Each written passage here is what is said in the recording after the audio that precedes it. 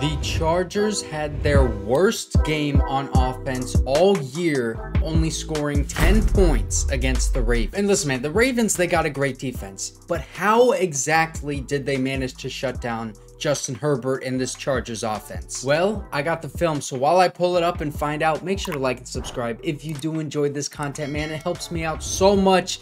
And let's look at Justin Herbert in this Ravens defense. Now, the first play that I want to show you guys is actually a win for the Chargers. Gerald Everett right here, the tight end, he's just going to be running a deep crosser over the middle of the field. And we have this safety playing up closer to the line of scrimmage. He's just going to run right by him. A little bit of contact right there. But because we have that safety playing so far up, we have single high safety in the deep part of the field. And Justin Herbert looking this way, it's going to bring that safety down to this side. And so he doesn't like this first read. Okay, let me look at my second read. Jalen Guyton, I don't like this either because this cornerback has the outside leverage. And so he's getting under pressure. He starts rolling out to his right side. Gerald Everett calling for this ball because he knows this is single high safety going down this side of the field because Justin Herbert's eyes were down there. And now he extends this play goes and throws it off platform to Gerald Everett, gets hit by Jadeveon Clowney right after he throws that ball, and it's still perfectly in stride to Gerald Everett. This is what Justin Herbert can do as a quarterback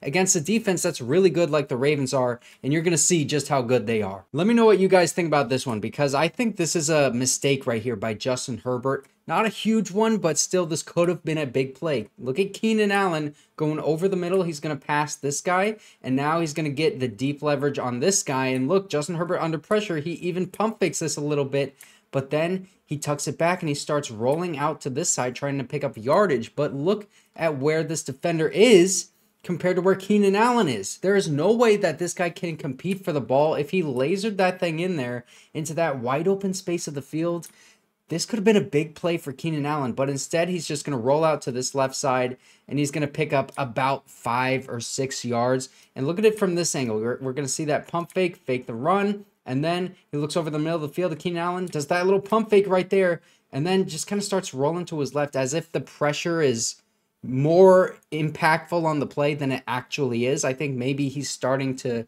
be affected that, by that pressure when it's not really even there. But I don't want you to think that there was never any pressure in this game because there was. Madubuike working on Zion Johnson and also Jadeveon Clowney working on Trey Pipkins. They are both going to get pressure on this play, forcing Justin Herbert to roll out to his right side, scramble for his life, basically. This was a very minimal gain, but also the man that is really good at protecting Justin Herbert this year, really the only one that's doing a good job is Rashawn Slater. Look at him working on Odafe Oweh. Gets a little help by that tight end, Gerald Everett. But the spin move into the pancake. Boom!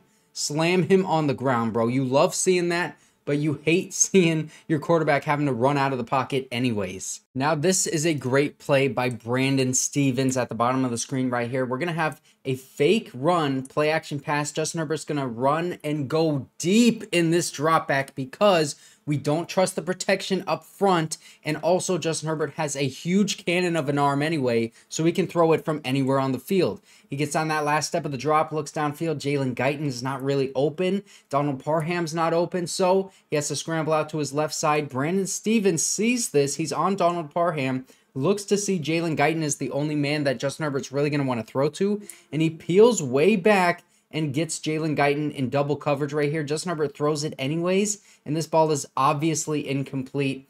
The only man who could have competed for that was a Ravens defender, but also what Justin Herbert needs to realize here is once Brandon Stephens uh, peels back right here and sees that this is the target that he's trying to throw to, you instead get off of him and you look at your check down. Joshua Kelley is wide open at the bottom of the screen right here. He's even putting his hands up, calling for it.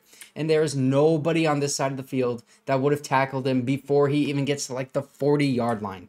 But really good play by Brandon Stephens, anyways, by understanding what the Chargers are trying to do. Now, this is a cover three disguised look for the Ravens. This man at the top of the screen is getting the deep third, as well as this man and this man. Kyle Hamilton is vacating this area because Jadeveon Clowney is backing up into that zone, and he's just going to take this outside zone towards the sideline.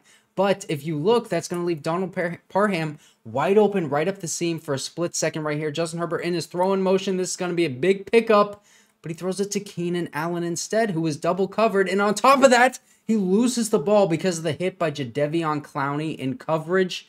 This is a really good play for the Ravens defense. And if Justin Herbert was able to identify what is going on right here, then this would have been a big play to Donald Parham, but he's unable to do so because it was a really good disguised look by this Ravens defense. Now, this is man coverage for the Ravens, and look, one of the best route runners in the league, one on one with Brandon Stephens. and he's going to stick with him this whole way. But this is just a perfect throw and a perfect catch. There's no way that you can really defend that. He ends up making the tackle, really secure tackler there.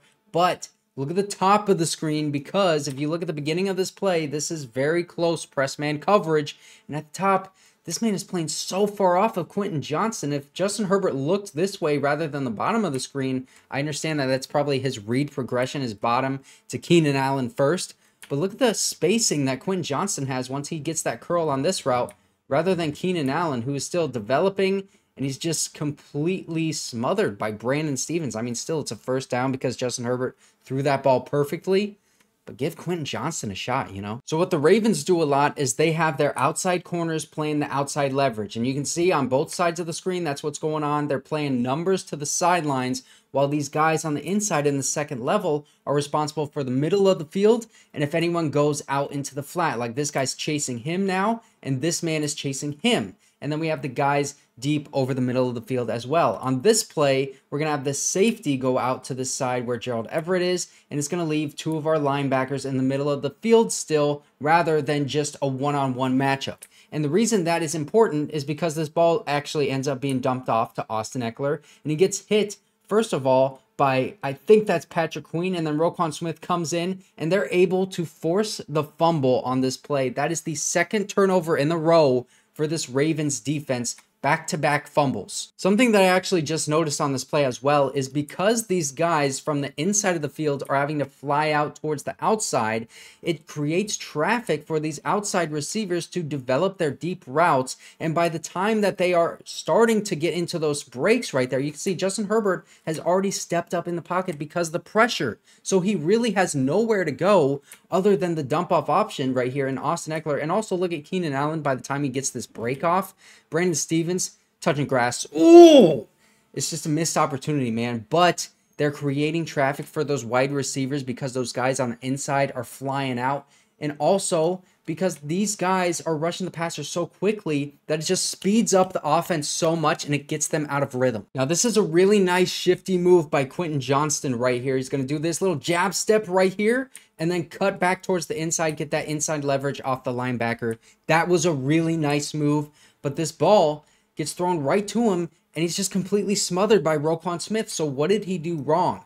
Well, I'm going to argue he did nothing wrong, and this is actually on Justin Herbert because he's looking towards this side of the field, and then he looks towards Quentin Johnston. There's that jab step, and now, boom, he needs to throw this ball, have that timing right there, but he's just late on the throw. It allows Roquan Smith to come back into this play, and also, I think it's kind of disrupted a little bit by the pressure from Michael Pierce on this play. I just want to give a quick shout out to Kyle Hamilton. He was a dog this entire game. He sees what's going on right here, knows this is an RPO, stays committed to this screen pass, engages with Jalen Guyton, and basically runs right through him and gets the one-on-one -on -one tackle while being blocked on Keenan Allen for the tackle for loss. This is such a high level play by Kyle Hamilton. This is how you beat the Ravens defense. Like I said, these outside corners are always in the outside leverage. The inside guys have the inside leverage unless a running back or somebody comes out in the flat right here. You see this man having to go up for Gerald Everett.